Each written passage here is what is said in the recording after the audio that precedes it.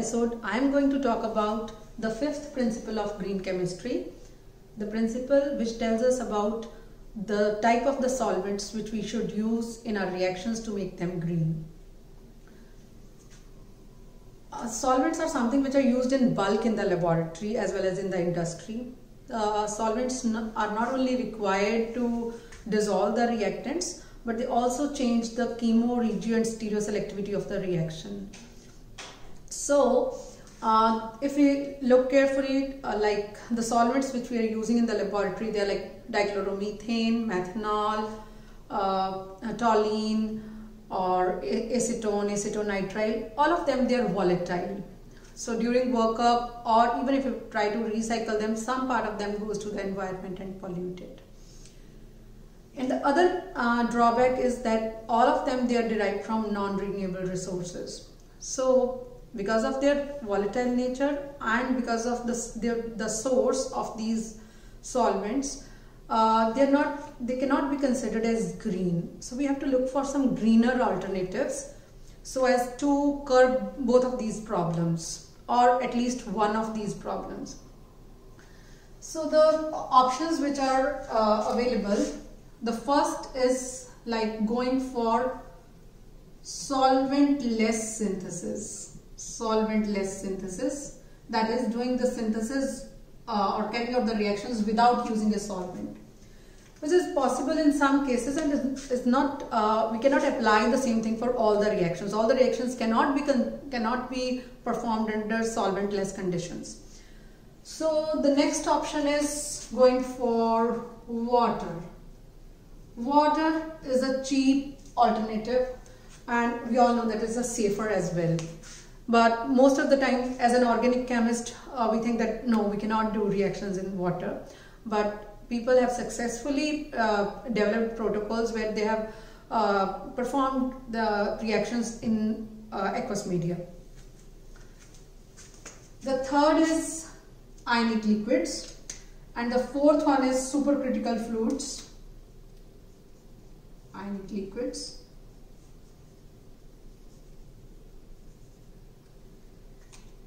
Next is using supercritical fluids like carbon dioxide, supercritical carbon dioxide, supercritical carbon dioxide or supercritical fluids. Then we have fluorous solvents or perfluorosolvents, fluorous media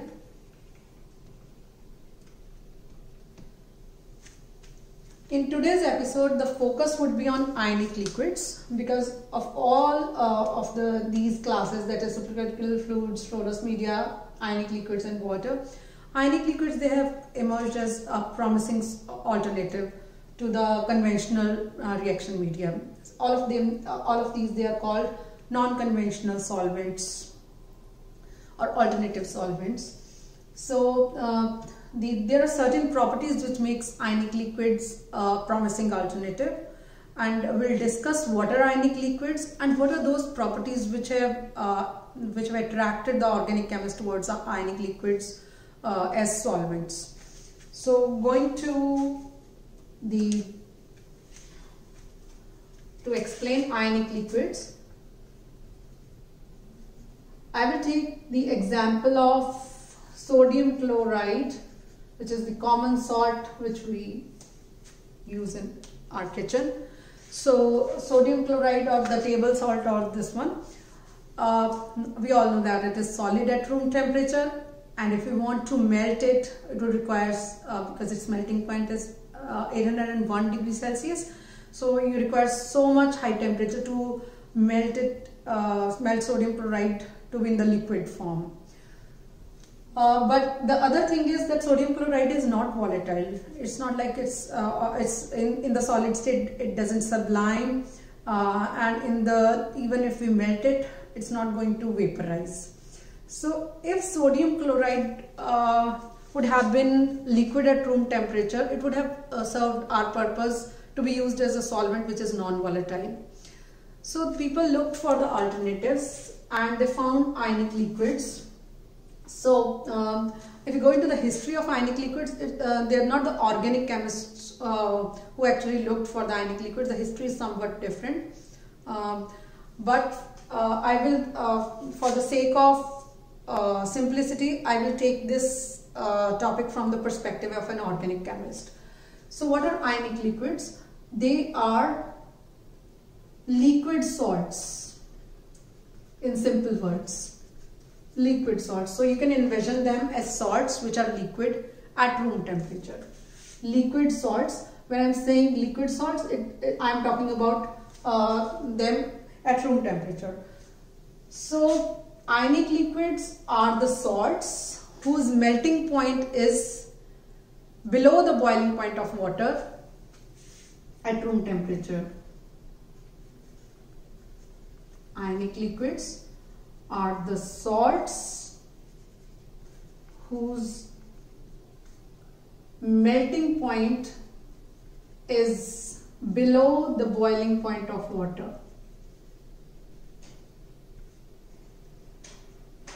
Boiling point of water.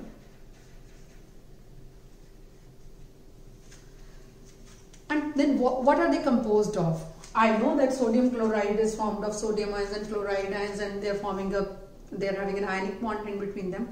So what, what are ionic liquids chemically? So ionic liquids are composed of organic cations,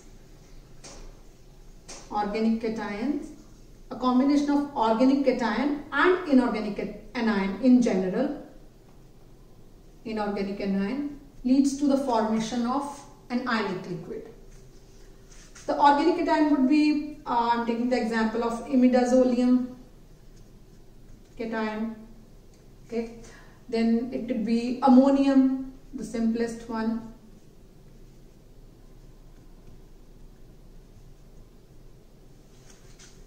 Okay, then we have other options as well like pyridinium,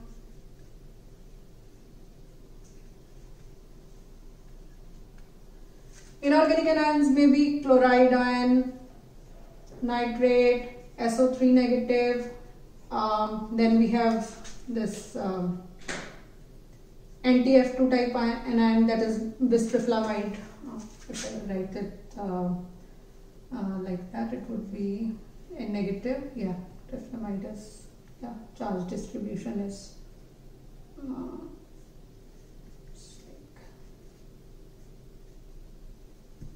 okay?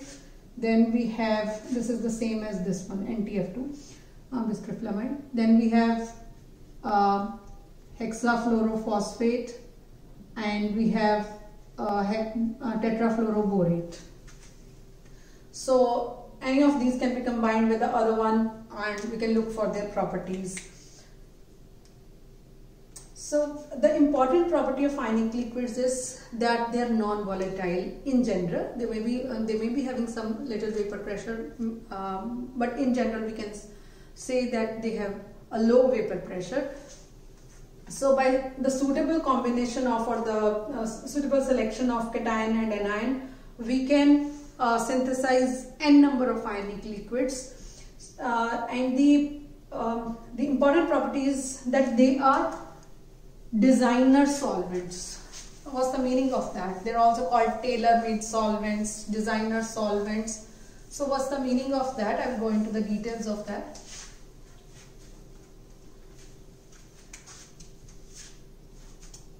They are called designer solvents. Now why they're called designer solvents?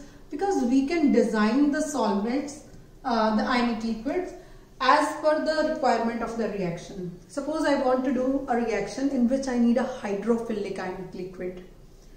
So what I can do is, uh, suppose I am taking imidazolium cation, so I will combine it with uh, tetrafluoroborate anion and it would lead to the formation of, the combination of these two would lead to the formation of a hydrophilic ionic liquid. Now for the other reaction, maybe I am doing some like biphasic reaction in which I have water as a solvent and I want to use the another uh, phase uh, which should be hydrophobic. Then I can combine the imidazolium cation with hexafluorophosphate anion. In that way it would be a hydrophobic ionic liquid. So by the suitable combination of cations and anions we can uh, synthesize the ionic liquid of our own choice. And the other thing is uh, important is like uh, the cation which you are choosing, it should be, uh, it should not be that much symmetrical because uh, we can uh, view it like, we can imagine it like the more uh, symmetrical a cation would be, the more efficiently it would pack into the lattice. And the more efficient the packing would be the the melting point would increase. So it would be like going towards sodium chloride rather than uh, forming an ionic liquid. So it's very important i repeat it's like for an ionic liquid to be liquid at room temperature we should opt for the cations which are less symmetrical which are not that much symmetrical because the greater the symmetry the more would be the efficient packing of the uh, um, cations in the lattice and the more efficient would be the packing the higher would be the melting point so the substituents which we choose for these cations they are generally um, chosen in a way that they should be different. Because if they are going to be the same it would lead to a it, it may uh, impart it as symmetry. And uh, the greater the size of the anion the lower would be the melting point. Because the greater the size of the anion the more would be like the there would be reduction in um, like uh, force of attraction the, the lesser the um, uh, force of attraction are there the more non-coordinating type of the thing will result and the more would be the uh, liquidus range of that ionic liquid or the uh, lower would be the melting point of that ionic liquid. So this was about like how uh, what are ionic liquids? Uh, they are the combination of organic cations and inorganic anions and wh why they are called designer solvents or tailor-made solvents because we can choose the cation and anion of our own choice to make the ionic liquid uh, which would serve the purpose for which we are designing that ionic liquid. And uh, now coming to the other properties of ionic liquids, the one is designer solvents the, and other properties are they have a low vapor pressure because of which they are not that much volatile so they don't pollute the environment. Low vapor pressure is an important one. And uh, their polarity viscosity, hydrophilicity, hydrophobicity,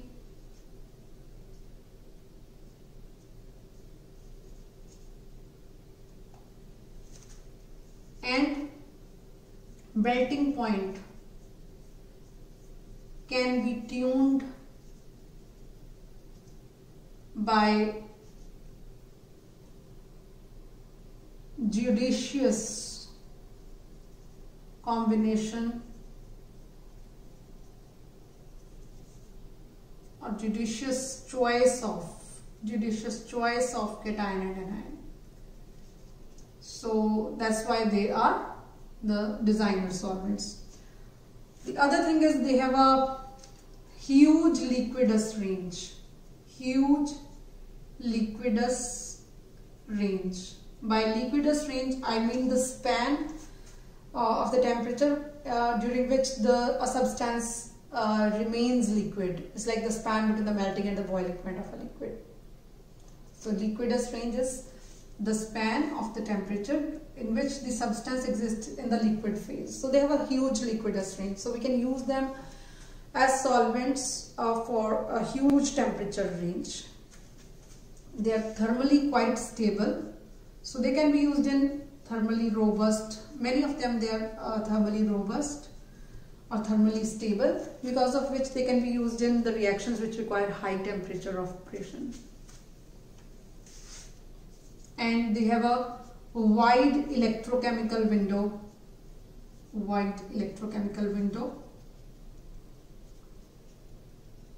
which means uh, by electrochemical window I mean like the potential range during which a substance is neither oxidized nor reduced. So because of which they find applications in electrochemistry as well.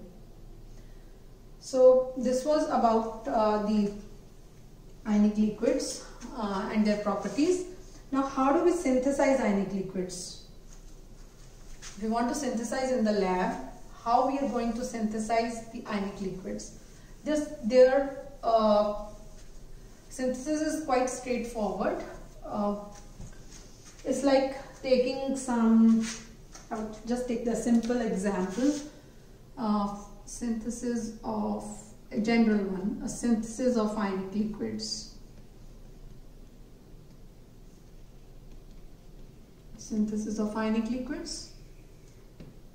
It's like taking some amine, suppose I'm taking this amine, uh, NR2 R dash or something, and I'm taking this amine and I'm going to treat it with some alkyl halide. I'm treating with some alkyl halide and obviously I'm, going to get a quaternized uh, salt quaternized um, quaternary ammonium salt and X negative this is the salt. This is the step one. In the step one the uh, nucleophilic attack of uh, the amine onto the alkyl halide leads to the formation of quaternary ammonium salt. And after this we can uh, by anion metathesis anion metathesis using a metal salt or uh, some acid we can do the anion metathesis by anion metathesis I mean that if I want to change the anion and I want to put the anion of my choice suppose uh, this is chloride and I want to make it PF6 so I will use a salt like uh, KPF6 potassium uh, hexafluoro phosphate. I want to use the borate, then I will use uh, the salt containing the NBF1 negative. So accordingly, like I am using M positive, A negative. So by metathesis reaction, I would get this thing.